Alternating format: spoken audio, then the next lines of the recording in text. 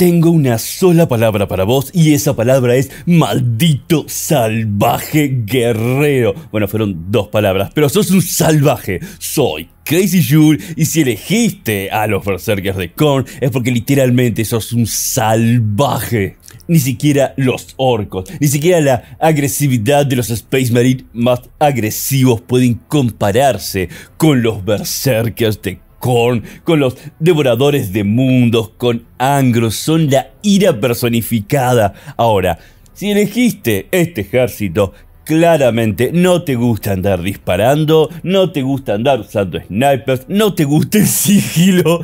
Lo único que te gusta es correr hacia tu enemigo con dos hachas sierra, una en cada mano, y despedazarlo en pedazos y verter sangre para el dios de la sangre. Clarísimo, este ejército es extremadamente straightforward. Derechito hacia el lado de los berserkers. Los berserkers son así. No piensan, no, no tienen estrategias avanzadas, no, no, no, no, no, no, no. Van y destrozan absolutamente todo en combate cuerpo a cuerpo con armaduras rojo brillante que ni siquiera se molestan en esconderlas. O sea, no van a saltar así de las sombras y van a decir, ¡Buh! Soy un berserker. No, no, no. Lo vas a ver venir corriendo. Y si matas a su compañero, va a seguir corriendo. Miren, los orcos son salvajes, pero inclusive los orcos tienen comandos, inclusive los orcos tienen psíquicos, los orcos tienen bastante variedad y tienen gran cantidad, digamos, de, unidades de última, que hay unidades que somos de choque, tienen más armadura. Los, los berserkers de Korn no, los berserkers de Korn es literalmente, no me interesa protegerme, no me interesa llevar un escudo, porque si tengo que llevar un escudo, esta mano la podría estar usando para llevar otro hacha, así que no voy a llevar un escudo, me pongo la armadura y de hecho a veces ni siquiera me pongo la armadura, voy en cuero o, con un brazo afuera sin ningún tipo de armadura porque es más, lindo sentir la sangre el brazo. Y van y despedazan absolutamente todo. Si sos una persona que elige a los Berserkers de Korn, tenés una sed de sangre como ningún otro individuo, digamos, que elija otro ejército de Warcraft 40.000 y no te importa absolutamente nada más que eso. Nada más que eso. Psíquicos, por favor, ¿a quién le interesan los psíquicos? Sos una persona agresiva, sos una persona que dice cuanto más músculo mejor, cuanto más fuerza mejor, cuanto más furia mejor, cuanto más cantidad de hachas tenga mejor. Son muy, muy simples las personas que eligen a los devoradores de mundos. Y no es que se caractericen por personalidad, porque digamos, un devorador de mundo no es una persona que vaya a tener frases muy avanzadas o muy elaboradas, más que mata, mutila, quema, mata, mutila, quema. Pero esa parte, si bien es simple, y debo decir, debo decir que la gente que elige devoradores de mundo, me parece inclusive para mí que son bastante simples, o, o más bien, más que simples, tienen como como poco vuelo en el sentido de que no piensan en estrategias, sino que piensan en un solo concepto, que es avanzar y destruir. Porque incluso los orcos tienen más estrategia, tienen más opciones. Cuando jugás en la mesa con berserkers de Korn, es, ok, los planto acá, corren hacia allá, destrozan a los enemigos podés hacer un poco de estrategia, pero las tropas son de combate cuerpo a cuerpo y avanzan y destruyen todo. Es, así, es la mentalidad que tienen los que eligen a los Berserkers de Korn.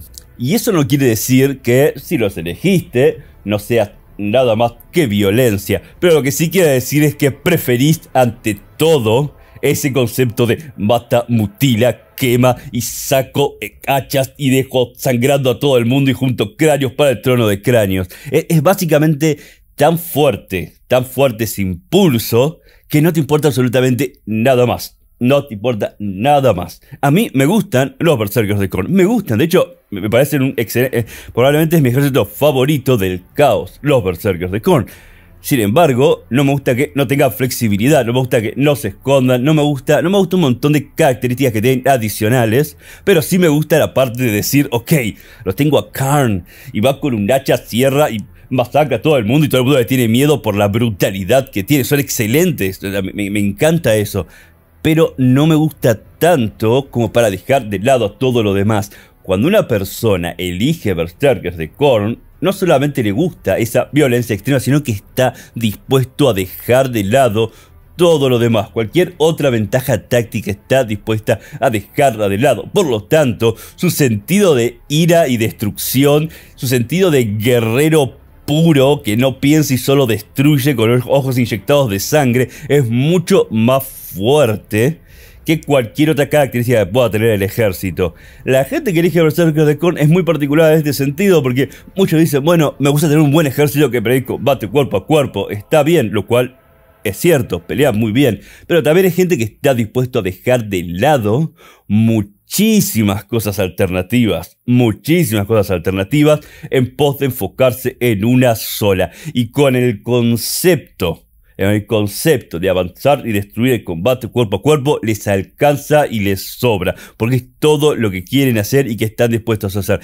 Les digo una cosa, no es fácil elegir a los Berserkers de Korn en ese sentido, porque uno puede gustarle un personaje de los Berserkers de Korn, pero de repente cuando dice me tengo que armar un ejército de Berserkers de Korn, o tengo que leer información sobre los Berserkers de Korn para que sean mi ejército principal, ahí hay, un dilema, les digo, hay un dilema porque no van a tener lo mismo que pueden tener con los Ultramarines, por ejemplo, tienen un montón de historia, un montón de, de, imperio, tienen un montón de ciudades, tienen un montón de temas, digamos, alrededor, un montón de opciones.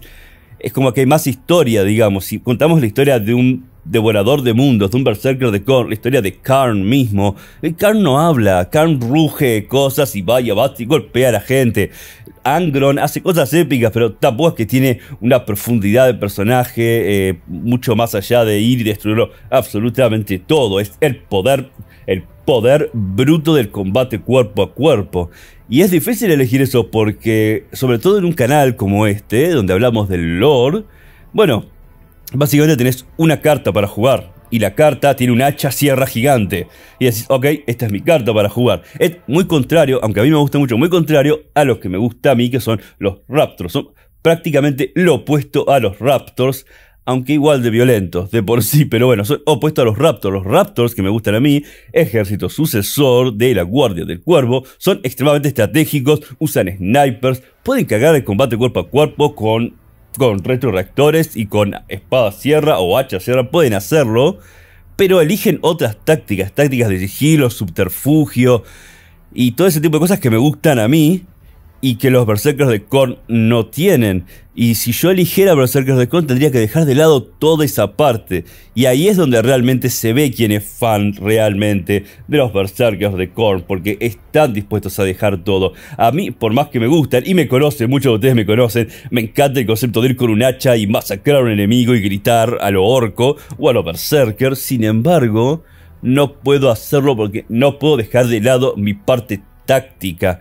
Y parece una solución simple elegir a los berserkers de Korn, pero en verdad es bastante más difícil, más difícil de lo que parece. Y la gente que los elige, que está dispuesto a armarse un ejército de berserkers de Korn, o a decir dentro del lore o dentro de un rol que, que usa los berserkers de Korn, si realmente está metido en el tema, bueno, tiene que bancarse dejar de lado todas esas cosas.